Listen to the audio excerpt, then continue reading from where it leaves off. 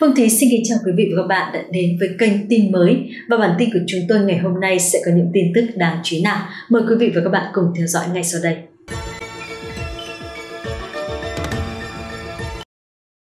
Chào mừng các bạn đã quay trở lại với bản tin của tin mới. Trong bản tin ngày hôm nay, các bạn thân mến, tin mới sẽ mang đến cho quý vị và các bạn nội dung sau. Các bạn thân mến, do ảnh hưởng của mưa bão kéo dài, mực nước sông Mekong tại nhiều địa phương ở Campuchia đã dâng cao gần ngưỡng báo động khẩn cấp. Hiện nay mực nước sông Mekong chảy qua tỉnh Stung Trang đạt 10,5 m, chỉ cách 20 cm so với mức báo động khẩn cấp. Tại tỉnh Kreti, nước sông đã dâng cao tới 21 m, trong khi mức báo động khẩn cấp là 22 m. Tương tự, mực nước tại tỉnh Kampong Cham đạt 13,5 m, cách mức báo động 1,7 m chính quyền các địa phương trên đã phải ra thông báo kêu gọi cư dân sống dọc sông cảnh giác khi mực nước dâng cao gần mức nguy hiểm. Nước sông Mekong dâng cao cũng đã gây ra những thiệt hại ban đầu ở một số địa phương của Campuchia. Hàng trăm mét đê kè ven sông tại các tỉnh Pong Khum và Kandan đã bị phá hủy chính quyền tỉnh Pong Khum đã buộc phải tạm thời đình chỉ giao thông trên một số tuyến đường bị ngập nước, trong đó có tuyến huyết mạch nối với tỉnh Kampong Cham. Đến nay, 38 hộ dân sống tại các khu vực nguy hiểm thuộc tỉnh Pongkum đã được di rời lên nơi ở an toàn.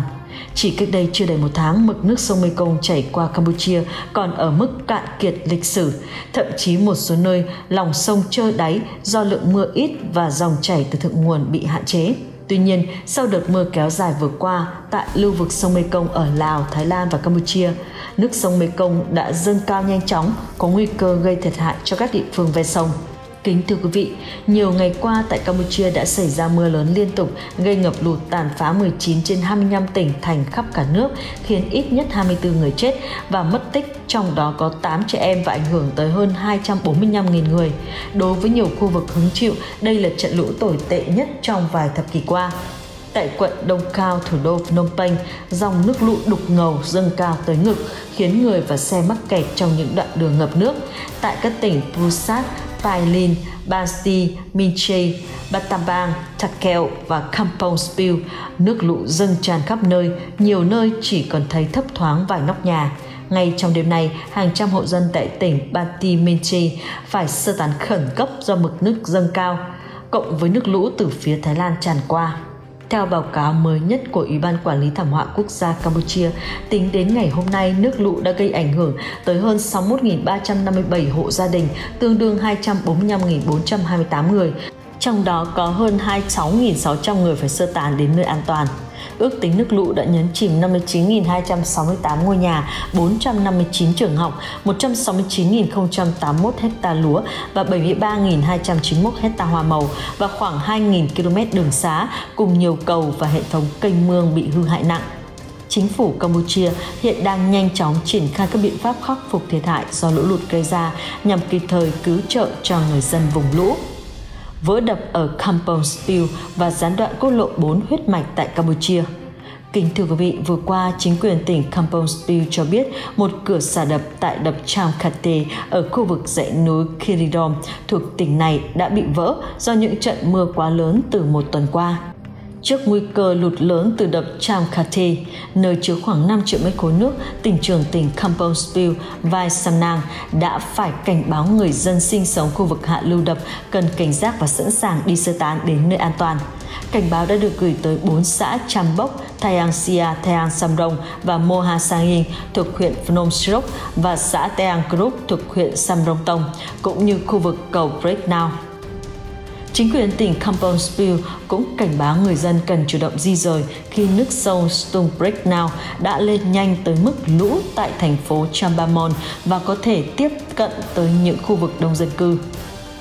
Trong khi đó, tại phía tây thủ đô Phnom Penh và tỉnh Kandan, mực nước tại đập Stung Breakdown đã dâng lên rất cao do các trận mưa lớn, làm ảnh hưởng tới ít nhất 200 gia đình sống tại huyện Saksapok và quận Dakor thuộc Phnom Penh, khiến nhiều hộ phải di chuyển tới nơi an toàn. Bộ trưởng Bộ Tài nguyên nước và Khí tượng Thủy văn Campuchia Lim Kin Ho trong chuyến thị sát hiện trường cho biết mực nước tại đập Stumprek Now đã lên tới mức 6,52 m ở phía trước cửa xả và mức 9,25 m ở phía sau cửa xả, khiến nước sông tràn qua đập tràn tới các khu vực thuộc tỉnh Kandan, trong đó có các xã Spintmore, Tien Lolut, Không Noi và Break Kamput. Mực nước sông Srum Breakdown lên cao khiến quốc lộ 3 ở ngoại ô Phnom Penh có nguy cơ sạt lở. Bộ Giao thông Vận tải Campuchia đã thông báo cấm lưu thông trên tuyến đường này, đề phòng nguy cơ xảy ra tai nạn. Bộ trưởng Bộ Giao thông Campuchia San Chanton cho biết ít nhất 245 km đường xá đã bị ảnh hưởng bởi các trận lũ lụt trên khắp 13 tỉnh ở Campuchia. Một số tuyến đường quốc lộ chính tại Campuchia đã bị hạn chế lưu thông theo từng thời điểm. Chủ tịch Hiệp hội xe vận tải Campuchia Sok Chiang cho biết nếu quốc lộ 4, con đường vận tải huyết mạch giữa Phnom Penh và tỉnh Prik Sihanouk, nơi có cảng biển Sihanoukville bị cấm lưu thông sẽ ảnh hưởng lớn đến vận tải hàng hóa cả nước. Hiện chính quyền thủ đô Phnom Penh, trong đó có quận Dakar đang chủ động chuẩn bị phương án sơ tán người dân bị ảnh hưởng và hạn chế các nguy cơ xảy ra tai nạn trong mưa lũ. Khẩn cấp cứu trợ hàng trăm người gốc Việt bị lũ lụt tại Campuchia. Quý vị thân mến, hiện đoàn công tác Tổng lãnh sự quán Việt Nam tại tỉnh Sihanouk đã chuyển 150 phần đồ cứu trợ đến tay 100 hộ người gốc Việt và 50 hộ người Campuchia đang chịu hậu quả của lũ lụt. Sáng nay, đoàn công tác Tổng lãnh sự quán Việt Nam tại tỉnh Sihanouk, phụ trách lãnh sự tại Sihanouk, Kampong Spil, Takel, Kampot, Kep và Kokong do Tổng lãnh sự Vũ Ngọc Lý dẫn đầu, đã tới tỉnh Kampong Spill để thăm hỏi và phát đồ cứu trợ cho bà con người gốc Việt đang chịu hậu quả của lũ lụt. Chuyến đi cứu trợ này được tổ chức ngay sau khi Ban chấp hành Hội Khmer Việt Nam tỉnh Kampong Spill kêu gọi khẩn thiết cứu trợ cho bà con gốc Việt gặp khó khăn trong khu vực. Khoảng 150 phần đồ cứu trợ đã được đoàn công tác chuyển đến tay 100 hộ người gốc Việt và 50 hộ người Campuchia nhân dịp này. Mỗi phần đồ cứu trợ gồm 10 kg gạo, một chai dầu ăn và một chai xì dầu và một số viên lọc nước sát khuẩn được Tổng lãnh sự quán huy động từ cán bộ, nhân viên cơ quan, quỹ hỗ trợ cộng đồng người Việt tại Campuchia do Đại sứ quán ta tại Campuchia quản lý và sự chung tay hỗ trợ của công ty Viettel Cambodia Mifon chi nhánh tại các tỉnh Kampong Spil và Priasianuk cùng một số nhà hảo tâm gốc Việt tại tỉnh Kampot và Koh Kong. Trước đó, những trận mưa lớn kéo dài đã làm vỡ hai con đập tại tỉnh Kampong Spill, khiến tỉnh này rơi vào tình trạng ngập lụt nghiêm trọng, có nơi nước ngập ngang đầu phải di chuyển bằng thuyền. Lãnh đạo chính quyền tỉnh Kampong Spill đã trực tiếp đến hiện trường chỉ đạo giải cứu người dân về khu vực an toàn. Mặc dù chưa xác nhận trường hợp tử vong, song tình trạng ngập lụt đã ảnh hưởng nghiêm trọng đến đời sống người dân tỉnh Kampong Spill. Theo ông Đặng Văn Mỹ, Chủ tịch Hội Khmer Việt Nam tỉnh Kampong Spill, hàng trăm hộ người gốc Việt đang phải chịu hậu quả nặng nề của đợt thiên tai này. Nhân dịp này, Tổng lãnh sự quán tại tỉnh Presianuk kêu gọi cộng đồng tại Campuchia và Việt Nam cùng chung tay ủng hộ để bà con gốc Việt tại tỉnh Kampong Spill vượt qua giai đoạn khó khăn hiện tại.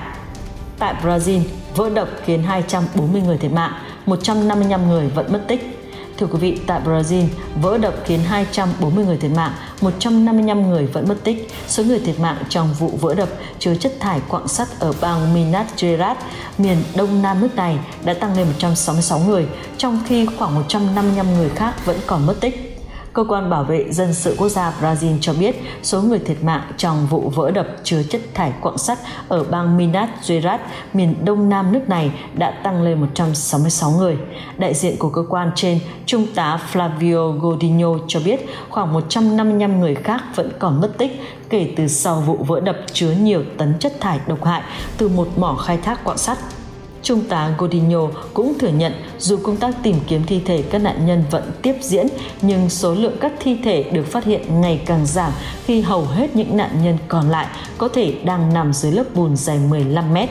Hiện cơ quan chức năng cũng xác nhận được danh tính của 160 nạn nhân, hầu hết đều là công nhân làm việc cho tập đoàn khai thác khoáng sản Vale, đồng thời cũng là chủ sở hữu của hồ chứa kể trên và nhiều cư dân của các vùng lân cận.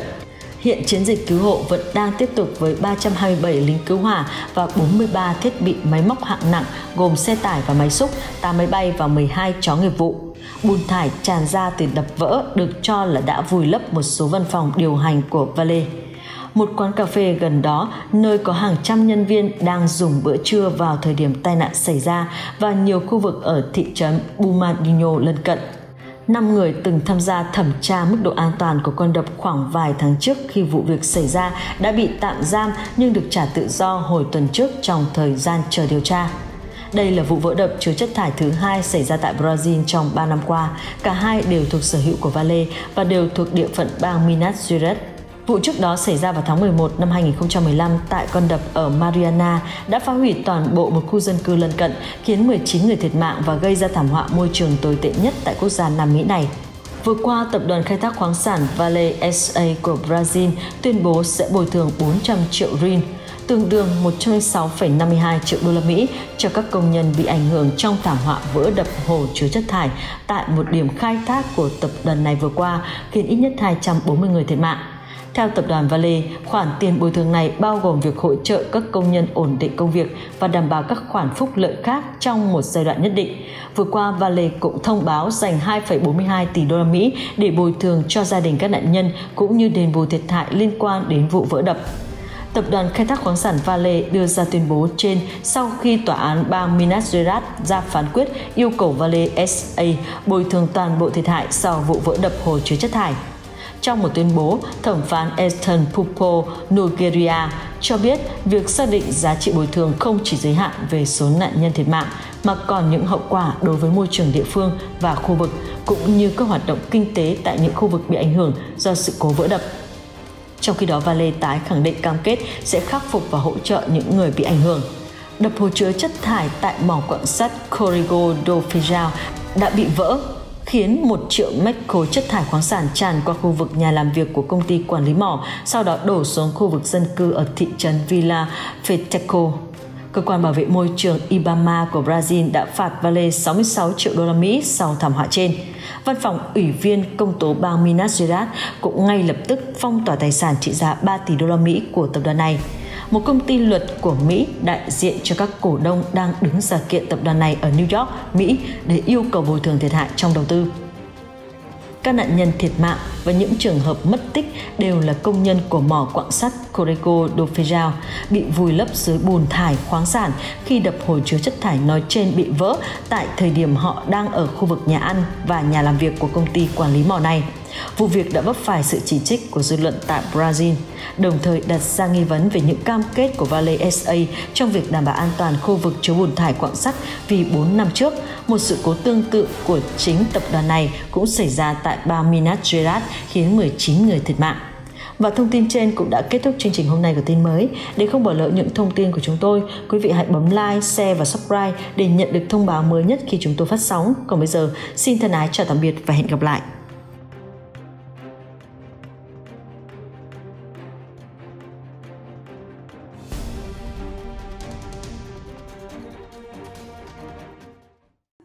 Những thông tin vừa rồi cũng đã khép lại bản tin của chúng tôi ngày hôm nay. Cảm ơn quý vị và các bạn đã quan tâm theo dõi. Xin kính chào và hẹn gặp lại.